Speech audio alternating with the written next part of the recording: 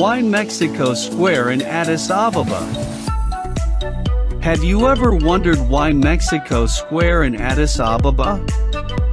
I have been wondering and made research, and I have been surprised by the result. It is because of amazing historic reason worth knowing. Here it comes. Ethiopia was the only nation in Africa to have never been colonized by a European country. This was because the Ethiopian forces defeated the Italian invading force on Sunday, March 1, 1896, near the town of Adwa. The Battle of Adwa was glorious, historic and the foundation of liberation movements across Africa and around the globe. However, the Italians made the second attempt in 1935, when Italian troops entered Ethiopia and occupied the country for the next five years, and this was known as the Second Italo-Ethiopian War. Ethiopian forces attacked the newly arrived invading army, and launched a counterattack in December 1935 but their rudimentary armed army could not resist well against the modern weapons of the Italians. However, Ethiopians continued continued fighting and resisting the invaders throughout the occupation period. This said, at the League of Nations, Mexico was one of only five member states to condemn the Italian invasion and occupation of Ethiopia. Unforgettably, because of this, Ethiopia kept its seat in the assembly, and it remained a member of the League.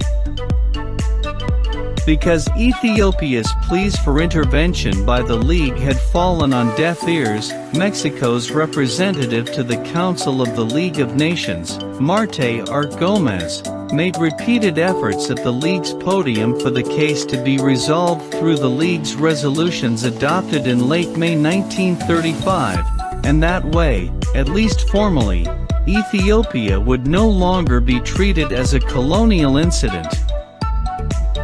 If you want to read more about this, I left a link to an article entitled, Mexico, and its defense of Ethiopia at the League of Nations, in the video description.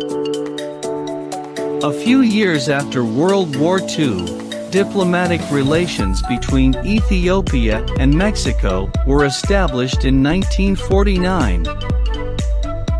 To commemorate Mexico's assistance to Ethiopia during its occupation by Italy, Ethiopia named a center square in Addis Ababa Mexico Square.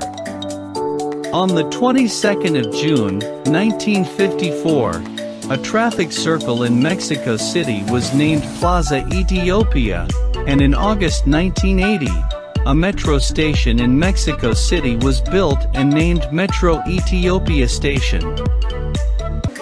In 1954, Emperor Haile Selassie became the first ever head of state from an African nation to pay an official visit to Mexico.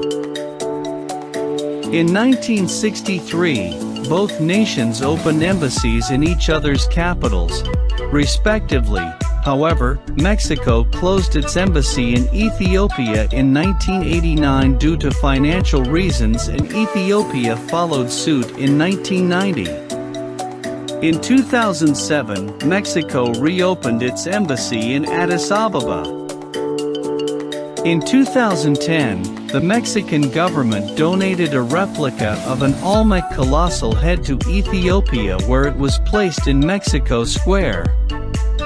In September 2015, the Ethiopian capital inaugurated its light rail system and has a Mexico station.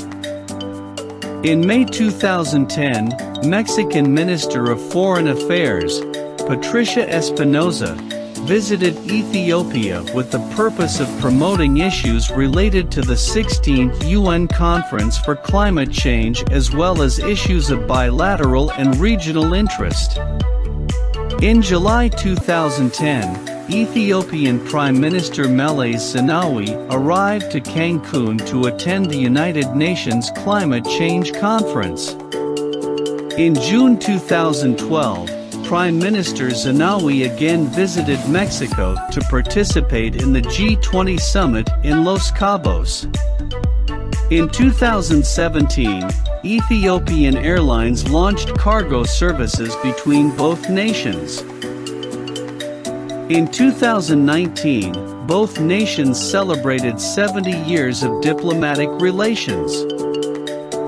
Note, due to the construction of the Addis Ababa light train, the Mexico Square has changed greatly, and one can easily see the difference.